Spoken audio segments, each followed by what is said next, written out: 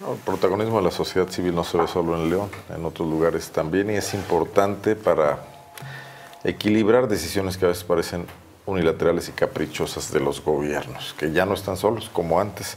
En San Miguel Allende fue lo que pasó este diciembre, este fin de año, con un intento que nos van a platicar ahora nuestros invitados del alcalde Ricardo Villarreal de modificar la traza de el carácter de una calle emblemática del centro de San Miguel, volverla peatonal, un plan eh, con intenciones de lo que él considera que puede ser un beneficio, quizás turístico, quizás comercial para San Miguel, pero sin consensos con quienes ahí habitan, con quienes hacen su trabajo todos los días y, gozan y padecen el San Miguel Allende todos los días.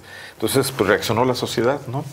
Se conformó un grupo proveniente de diversas organizaciones ya existentes y también personas que participaban por primera vez. Están con nosotros Mario Hernández, que bueno, originalmente tú eres parte del Charco del Ingenio. Sí y, Juan Robledo, te, es tu nombre, ¿verdad? Que tú sí formas parte de una organización que parece que surgió para, específicamente para esto, que es Salvemos San Miguel. Así es. Pues bueno, platíquenme cómo empezaron las cosas. Eh, como comentaste, eh, Salvemos San Miguel eh, nace a partir de Salemos Aldama. Y Salemos la Aldama. Calle Aldama ¿no? Exactamente. Entonces, eh, Salemos Aldama nace como una iniciativa muy puntual ante las diferentes obras que se quieren realizar en el centro histórico y puntualmente en la calle de Aldama. había un plan del gobierno municipal de peatonalizar esta calle, de cambiar el empedrado por, por hacer un adoquín y eh, las banquetas ampliarlas. Un empedrado que le da a San Miguel el carácter que tiene. Definitivamente. Que es lo que busca la gente que también va ahí a visitar, ¿no? Totalmente. Entonces... y además eh, es, eh, patrimonio de la humanidad, San Miguel tal y como está. Sí. Entonces, a pesar de, de toda esta eh, historia de San Miguel, de las directrices de la UNESCO que te marcan diferentes restricciones para intervenir en el centro histórico, pues el gobierno municipal lanza este proyecto sin consulta ciudadana, sin tener un plan estratégico. ¿Lo había anunciado en su campaña? ¿Se sabía Realmente no había ningún plan previo, no, nunca se mencionó en su plan de, de gobierno de, de, este año en curso, eh, perdón, del anterior y realmente nunca hubo un acercamiento con los residentes de la zona, ni con los que vivimos en la calle, ni una consulta con la ciudadanía San Miguel. ¿Cómo se dan cuenta de que se va a hacer esto? Pues a partir de eh, cuando, diferentes... máquinas ya ahí entrando. Afortunadamente no fue así. Eh, eh, surgen diferentes, en diferentes momentos eh, a partir de octubre diferentes momentos en el que se dan algunos comentarios a través de los medios de que se va a intervenir la calle y después específicamente la calle de Nemesio 10 se devela una estatua de Nemesio 10 donde se habla concretamente del empresario cervecero Nemesio 10 el padre de Valentín Díez Morodo. A santo de qué qué tenía que ver Nemesio 10 con San Miguel pues aquí realmente desconozco las eh, causas de, del en Toluca se debería haber una estatua de Nemesio Díaz, que el estadio lleva el nombre. Se dice que hay su llegada a México llega a San Miguel de Allende, el cual pasa una temporada corta y después decide emprender su, su aventura y recorrer a México, llegando de alguna manera a Toluca y en donde se consolida con una serie de negocios. ¿no? Bueno, y entonces dicen, van a pasar cosas aquí con la estatua de Nemesio. Se, se habla abiertamente de los planes de cambiar la calle, hacer un corredor que viene desde el Instituto de Allende hacia el centro histórico, pasando por la calle de Aldama. Entonces es aquí donde realmente comienza a haber preocupación por parte de la ciudadanía, porque se ve que es un plan ya, pues digamos que totalmente pues consensuado por los mismos eh, eh, eh, digamos, directores de la administración y solo gobierno. ¿Habían solicitado alguna autorización del Instituto de Antropología? Mm, ah, hay un convenio que se firma el 29 de julio de, del 2016, la SEDATU, con el municipio, donde se especifican ocho obras que se van a realizar en el centro histórico y que algunas de ellas se están llevando a cabo. Dentro de las cláusulas que se comentan en este convenio, se explicita que la autoridad, en este caso la, autoridad de, que va a ejecutar las obras, el municipio, debe de, eh, estar de acuerdo con el Instituto de Antropología e Historia, debe gestionar estas licencias y debe obtenerlas previo al inicio de obra, lo cual no sucedió en la calle de Nemesio 10, lo cual no sucedió en la calle de eh, Baeza ni de Diezmo Viejo. Eh, se habló de que se estaban tramitando y gestionando los vistos buenos, pero pues no había ninguna licencia. Esto obliga a que se reúnan ustedes. Hay una primera convocatoria. ¿Cómo, cómo ocurre? Esto, esto genera... La calle de Aldama es una calle emblemática por la cual muchos sanmiguelenses la hemos recorrido, llevamos serenatas, nos tomamos una copa en la calle con el amigo, digamos, donde tenemos una relación muy íntima y nos significa mucho como sanmiguelenses. Al conocer un proyecto este, de, intervención en la calle para modificar su fisonomía, pues claro que nos... nos Ahorita circulan vehículos por ahí. Sí. Y no es problema, pues. No, ningún problema. Volverla a peatonar la mejora, o la cambia, o cambia su sentido. Me parece que pueda tomar ciertos riesgos que no, no, estamos del todo ciertos, pero sería muy peligroso. Y además la declaratoria de la UNESCO este, reconoce eh, a San Miguel tal y como está. Y entonces eso es lo que debamos de proteger y debamos, claro, de adaptarnos a las nuevas circunstancias, a las nuevas condiciones que existen, tanto de movilidad que existen de la población, pero también debamos hacerlo de una manera coordinada este, y bajo una planeación que derive en acciones de este tipo. Sin embargo, no existen hasta el momento el plan de manejo del centro histórico, ocho años de haber eh, sido la declaratoria de UNESCO, no, no existe el, el, Programa Municipal de Desarrollo Urbano y Ecológico y Ordenamiento Territorial, no hay el Atlas de Riesgo, no hay el Plan de Movilidad. Además el premio aquel de la mejor ciudad para vivir que la pasada administración presumió tanto y el secretario de Turismo, ¿no? Pero que suena muy falso. Y ante esta situación que consideramos que la inversión es muy importante, eh, surge distintas expresiones para poder eh, poner atención sobre la calle Aldama. Es así como surge el grupo de, Salvemos Aldama para empezar a hacer un inventario de una piedra que es emblemática de la zona, que es la San Miguelita, y de la cual está colocada en las banquetas y del cual el banco de material se ha agotado.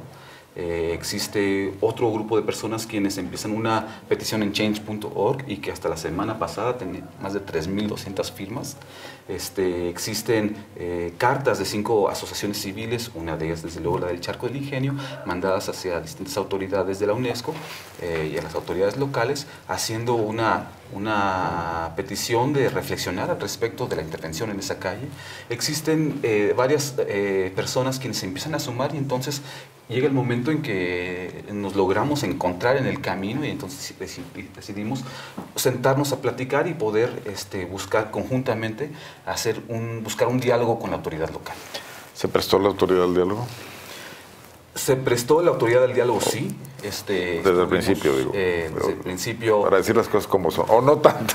ya hiciste tu gesto. A ver, platícame. Lo que pasa, este, desde el comienzo se trató de generar este diálogo una de las eh, razones por las que se crea este grupo no es solo el salvar la calle Lama, que bueno, se obtuvo este éxito, pero uno de los principales eh, objetivos es la participación de la sociedad civil en cuestión de la toma de decisiones que van a repercutir en nuestra ciudad. ya les había pasado con los edificios estos que alteran la visual, capilla, de piedra, ¿no? Se trataba de que no avanzara más, de tener las cosas cuando esto es un proyecto en el escritorio y no ya una inversión y una cosa muy complicada de mover. Así es. Y bueno, eh, se tuvo algún acercamiento con, con ellos.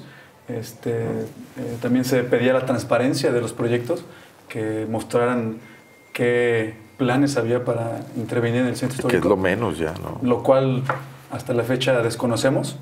Eh, por, de manera oficial se entregaron cartas de individuales y de grupos que querían tener acceso Los gobiernos no entienden que, que cambió la forma de hacer las cosas, que ahora es con la sociedad o, que, que se complican. ¿no? Parece que, pese a ser un político joven, Ricardo Villarreal no, no le da la vuelta a la página hacia, hacia esos tipos de formas distintas. Eso es algo interesante porque eh, digamos que la tecnología ha avanzado de una manera tan rápida que nos ha hecho adaptarnos a, nuevas maneras de comunicación, a nuevas formas de organización.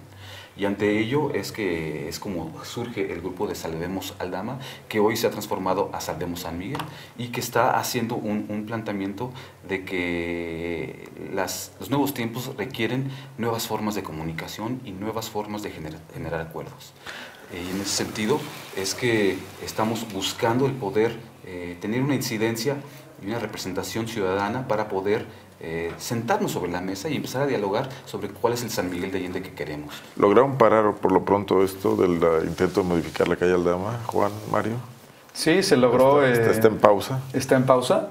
Aún no obtenemos una respuesta oficial en la que se determine que las obras ya cesaron y que el recurso se va a redirigir o se dirigió a otra obra. ¿Es susceptible de una intervención la calle que pudiera mejorarla, pero que fuera un proyecto consensuado? Definitivamente la calle necesita mantenimiento, eh, un mantenimiento que evidentemente debe estar de acuerdo a las normativas que la UNESCO nos marca como zona patrimonio. Eh, quizás sí pueda darse un mantenimiento, pero en acorde, como te decíamos, con los lineamientos legales que están eh, dirigiendo a la ciudad, con un consenso ciudadano y evidentemente con la participación. ¿Los vecinos nunca vieron con buenos ojos la peatonalización? Eh, hubo mucha inconformidad porque el traer peatonalización a la, a la, calle generaría dinámicas distintas a las que el día de hoy se llevan. Una zona de fiesta quizás ahí para turistas. Se, se, esa es la parte que nos alarma, ¿no? San Miguel ha tenido una, de los últimos ocho años para acá, un incremento de turistas de una manera exorbitante, ¿no? Justo en estas fiestas de fin de año hemos visto como la ciudad se colapsa, no hay espacio para estacionarse, hay, es, es difícil llegar a, a, caminando incluso a distintos puntos de la ciudad porque el tráfico y la cantidad de gente que, que llega a la, la ciudad lo hace una situación compleja. Entonces, eh, en este sentido, eh, resultaba alarmante que el peatonalizar la ciudad, eh, la calle de Aldama y este corredor, pues eventualmente podría tener una incidencia en que eventualmente alguien sacaba unas mesitas al, al centro de la calle. Tarde o temprano. Y al cambio chiste unas mesitas en el centro de la calle empieza también a transformarse el uso del suelo. Y entonces empieza a llegar a un bar. Y entonces al llegar a un bar te rompe la comunidad, la, la, la, la relación de la comunidad. Algo que hace a San Miguel distinto, peculiar, atractivo, es que es una ciudad que se vive naturalmente, ¿no? No es una escenografía para la fiesta y para el turismo. Creo que ustedes han logrado defender mucho eso. No, es Disneylandia. Exactamente, no es un set. Sí, y esto tiende un poco a ir en ese sentido, me parece. Sí, esta cuestión tiene que ver con la parte de eh, la planeación, que desde luego es muy importante y que no está eh, hasta el momento llevándose a cabo. Tenemos la ausencia de muchos instrumentos y a la cual desde hace desde la administración anterior venimos insistiendo en la importancia de generar los procesos eh, legales para la incorporación de las para generar los procesos de participación ciudadana para construir de manera colectiva los mismos. De contar con los instrumentos que se han mencionado ya en varias ocasiones estaríamos teniendo este regulando y haciendo un uso sustentable para las futuras generaciones. Ahora, no se van a quedar en esto, en el intento de frenar un proyecto no consensuado, sino que la idea es claro. empezar a debatir más sobre lo que es, viene para San Miguel. Eh, comenzó una iniciativa que tuvo bastante éxito. Eh, hoy en día se puede ver eh, la iniciativa ciudadana a participar. Creo que es una buena señal. Como de, comentaba Mario, estamos nosotros abogando y exhortando las autoridades municipales a que estos planes y estos instrumentos legales eh, se cumplan eh, conforme a ley, eh, que los tengamos hoy en día ya bien definidos y que se implementen en su inmediatez. ¿No les está pasando que cada administración llega con, inventando el hilo negro en San Miguel Allende? Más ahora que hay alternancia, ustedes han tenido gobiernos del PRD, del PAN, del PRI, otra vez del PAN, ¿no? Sí, bueno, cada gobierno tiene además este, distintos... Porque no hay estos documentos básicos de... de distintos de actores políticos quienes vienen participando y que tienen este, visiones distintas, ¿no? Y en ese sentido es que eh, eh, de repente hay que renovar ideas, hay que hacer acciones distintas, pero eh, me parece en la medida en que no contamos con esos instrumentos, seguimos gastando recursos, seguimos gastando energía y se nos está acabando el tiempo. ¿no? Porque... Grandes proyectos como el Hotel Rosewood, ahora lo que se quiera hacer en el predio que recientemente vendió el ISEG, el Cardo, amenazan la fisonomía de San Miguel, la vida de San Miguel, ¿cómo ha sido?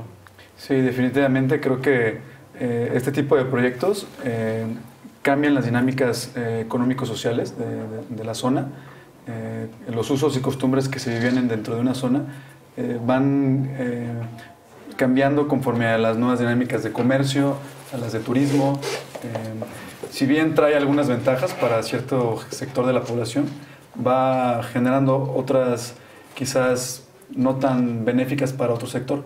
Entonces, es por eso que eh, seguimos insistiendo en que un plan estratégico para el centro histórico es necesario. Lo mínimo, ¿no? Es lo mínimo que, Una ciudad que es patrimonio de, la humanidad. ¿no? Y en, San, y San Miguel el centro histórico es muy grande, pues nos referimos a un área muy grande, no, no, es, no, no es como en otras ciudades unas cuantas cuadras alrededor del, del cuadro principal, ¿no? Sí, lo que es el centro histórico, la zona núcleo, digamos, en un momento se redujo en, la administración anterior, lo cual no entendemos el por qué. Sin embargo, realmente existe una zona de amortiguamiento y desde luego considero que sería muy valioso ampliar esa zona núcleo eh, de, declarada como patrimonio. Yo quisiera regresar un poquito y mencionar que estamos en una coyuntura muy importante en términos de la participación ciudadana y de las capacidades de nuestros gobernantes, porque eh, debo reconocer que el alcalde de San Miguel de Allende es muy inteligente, muy hábil y cuenta con mucha experiencia para bajar recursos. En, en, en, entrevistas que se le han hecho ha mencionado que para San Miguel de Allende han, han logrado bajar cerca de mil millones de pesos. Eso me en parece, un año. En un año. Eso me parece que muy supera el presupuesto de San Miguel varias veces. No Entonces, debe superar los 100 millones. Me parece que ante esa coyuntura donde se tiene un alcalde que es muy hábil, inteligente para bajar recursos y una sociedad civil muy participativa, debamos de combinar los esfuerzos para que las acciones y los recursos se vayan directamente a las necesidades sentidas. ¿En qué se ha gastado el dinero hasta ahora? Eh, yo creo que esa es una pregunta que la autoridad debiera responder. Bueno, es que si es demasiado inteligente para bajar recursos, también puede ser más, más inteligente para aplicarlos en cosas que pueden no ser de beneficio colectivo. ¿no? Algo que lo hemos logrado hasta el momento tiene que ver con esta, eh, una reunión que tuvimos el día 30, en donde el secretario del ayuntamiento y la presencia de algunos de los directores de área eh, manifestaron, también ante los medios, que el proyecto de la calle Aldama queda cancelado, que no se va a hacer. Entonces, eh, esto es, yo quisiera cacarear mucho la parte de la sociedad civil organizada, como en la medida en que logra este, generar una reflexión para una intervención de una calle como esta, es posible para poder eh, eh, hacer y tener incidencia en otros temas y me parece que estamos en un momento coyuntural, si lo trasladamos esto a una situación nacional, lo que estamos viviendo, creo que es una oportunidad, histórica y que debamos re reflexionar en ese sentido. Muy bien. Yo los invito a que me, nos tengan informados, a quienes hacemos y a quienes ven Revista de la UNA, sobre lo que viene, ¿no? Porque me imagino que esto va a ser un tema de largo plazo. Sí, es el comienzo de un ejercicio de participación ciudadana que se va a involucrar en las tomas de decisiones de, pues, de la actual administración. Y bueno, como decía Mario, eh, buscar el trabajo en equipo, ¿no? No estamos op oponiéndonos a, a las mejoras de la ciudad, siempre y cuando sean consensuadas y con un plan estratégico racional. El alcalde no manejó, que siempre los políticos tienden a hacerlo, el riesgo de que se perdieran los recursos por no hacer esta obra. Sí, Sí. sí, sí, se ha manifestado de que, por ejemplo, la calle Aldama, el recurso se perderá y que tal vez eso tenga consecuencias en la asignación de recursos para el siguiente año. ¿no? Bueno, pero caso la culpa es de él por no consensuar previamente. ¿no? Yo creo que aquí nuevamente estamos en una coyuntura importante, ¿no?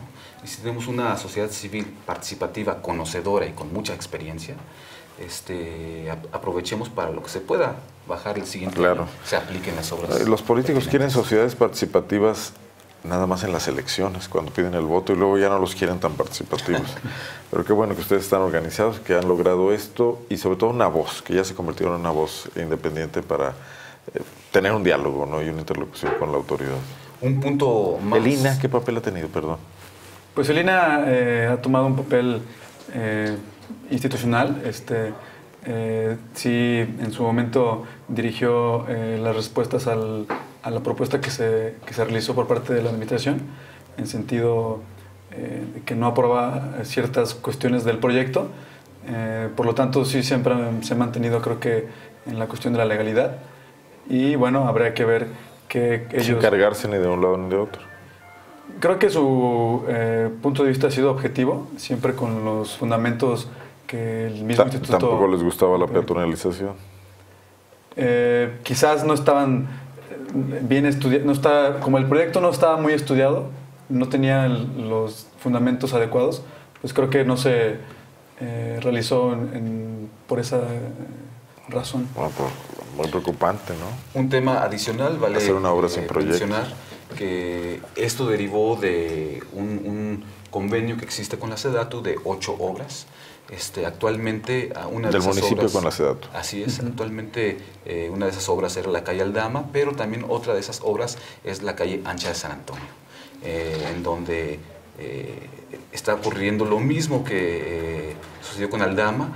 No hay un consenso por parte de los vecinos, es- sienten que es una obra que es impuesta y que están inconformes con eh, la obra que se propone para esa calle y que pretende arrancar el 9 de enero, el próximo lunes. ¿Qué van a hacer ahí?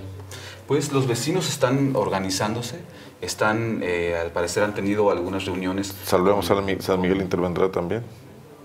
Pues eh, lo que buscamos es, eh, como decía Mario, y lo repito, generar un diálogo participativo. Eh, estamos tratando de sumar a todos los actores ciudadanos que estén realmente involucrados y que se sientan interesados por realmente tener una mejor ciudad, una ciudad que sea bien planeada. Y si en algún momento llegaran ellos a necesitar el apoyo, pues se les brindará de la manera que nosotros podamos brindárselo. Muy bien. Finalmente, tal vez no vivamos en la calle ancha de San Antonio, pero somos sanmiguelenses y son calles que son nuestras de todos modos. ¿no? Las caminamos, llevamos a nuestros hijos a la escuela, vamos a la farmacia, es decir, son, son, son la vía pública. Pero si ya empezó este diálogo para orientar el futuro de San Miguel y la idea es primero el plan y después las obras, yo creo que el paso lógico es discutir ese tema. ¿no? Estoy completamente de acuerdo. Pues bueno, entonces nos vemos pronto para ver qué pasa con la calle ancha de San Antonio. Si invitan a algunos de los vecinos, yo con mucho gusto aquí los platicaremos con ellos también. Excelente. Muchas gracias. Juan, Mario, muchísimas gracias. Muchas gracias. Y gracias por venir hasta acá. No, ¿de qué? Gracias. Vamos a continuar. Deme unos minutos, regreso.